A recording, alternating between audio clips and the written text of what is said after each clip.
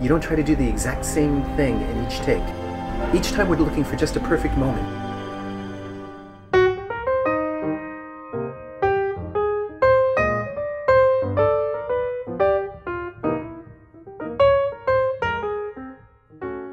I've, I've worked on independent films when I was young. I remember, I don't know how many films I did uh, or worked on where we had these amazing moments, but we didn't see them on the camera. There were amazing moments between the actors, Right. but it wasn't for the camera. Okay. And on stage, you can look everywhere, okay? The audience can watch what they want. On the camera, it's only what we see in the frame. Uh, this is all obvious, but we forget that. The camera is really a director's medium or the editor's medium or the producer's medium more than it is the actor's medium. The actor needs to offer a wide variety of choices, but they don't get to decide what they mean. I could frame my face right now like this, right? And I could put a voiceover that says, This is Chris. He wasn't always like this until he started sniffing glue. Or I could put I could frame myself again and I could go, This is Chris. He's going to help you. Call now. And it changes what I signify. Your creativity is in coming up with a series of honest, spontaneous, believable choices. And you don't get to choose what they make those choices mean. Yes, exactly. Okay. Does that make sense? It does completely. Because also, I think that people think that um, good acting is an acting that is truly felt, and whatever you feel is gonna show.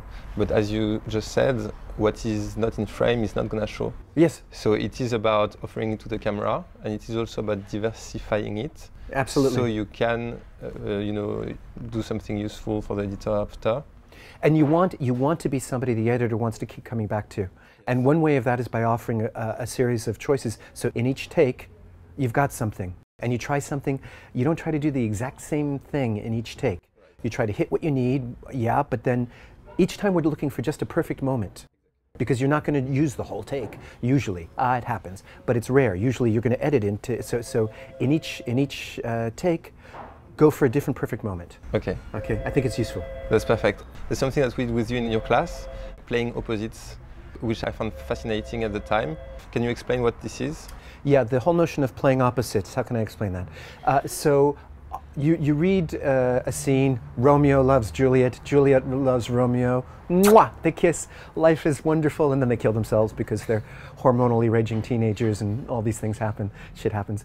Uh, but but um, it's easy for actors, for all of us, just to see the surface and to know the end result. We know because we know the future. We know what happens at the end of the scene. So we think, oh, I'm going to play it. He's in love, so he's going to try to get love.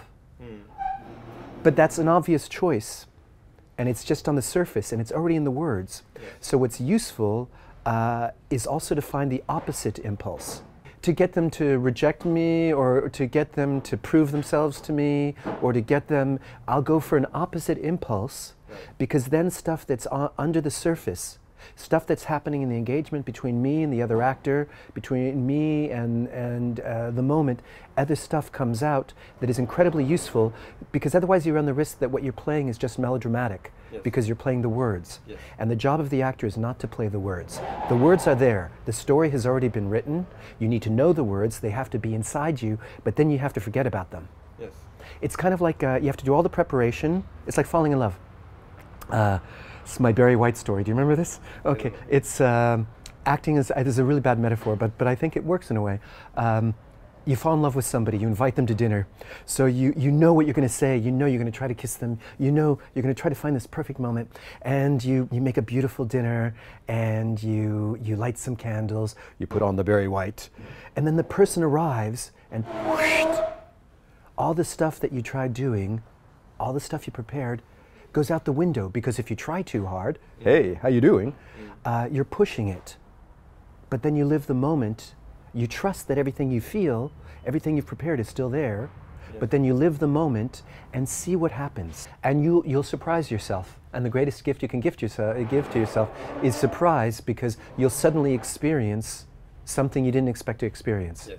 because uh, anticipation, knowing the future and anticipation are death for an actor. So when you go for an opposite, it's not what you expect, so something real happens.